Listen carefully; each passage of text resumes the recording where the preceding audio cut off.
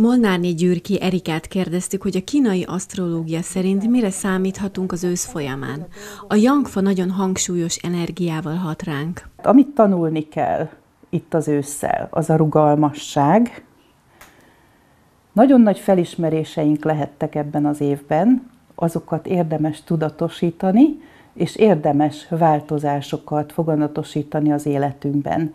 Most jelen pillanatban még a Hinvíz kakas hónapját írjuk, a kakas, hogyha elképzeljük, ugye tudja mindenki a baromfi udvarból, hogy milyen egy kakas, a kakas az nagyon precíz, pontos, szereti rendszerezni a dolgokat.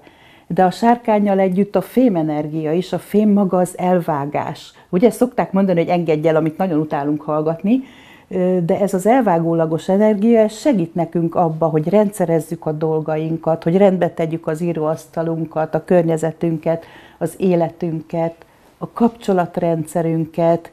Tehát ennek az energiának a segítségével most tudunk rendszerezni, selejtezni, hogy amikor megérkezik az októberi energiákba, képzeljétek el, ilyet még én se láttam ilyen horoszkópot, hogy négy darab jangfa van fölül a menyei törzsek horoszkópjában, és alul pedig kutya, sárkány, kutya, sárkány, tehát tiszta földenergia.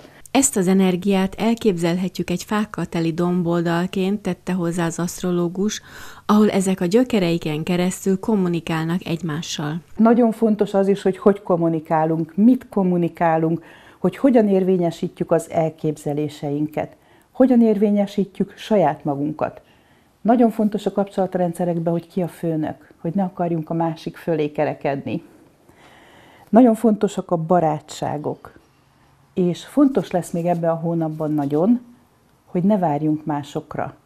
Tehát meg fogja mutatni nekünk ez az év, és hangsúlyosan az október hónap, hogy nyugi, nem kell várni senkire, meg tudod csinálni, egyedül is boldogulsz. A növekedés és fejlődés benne van a fa energiájában, de szükséges erőt vennünk magunkon, hogy el is induljunk. A fában benne van a képzelő erő is, tehát, hogy ne csak elgondoljuk a dolgokat, hanem kezdjük el megvalósítani azt, amit szeretnénk, és akkor szárnyalni tudunk a sárkánynak az energiájával. Ha most az októberi hónapban a sárkány mellé megérkezik a kutya, tehát ugyanúgy az égi, mint a földi energiák is segítenek minket, nagyon sok minden föl fog jönni akár a tudatalattiból érdemes ezeket megdolgozni. Nagyon fontosak lesznek a megérzéseink is, amelyeket az ősz folyamán intenzívebben fogunk megélni, és ne felejtsük el felírni őket. Az asztrológus ezen kívül azt tanácsolja, hogy tanuljunk meg hálásak lenni és megbecsülni azt, amink van.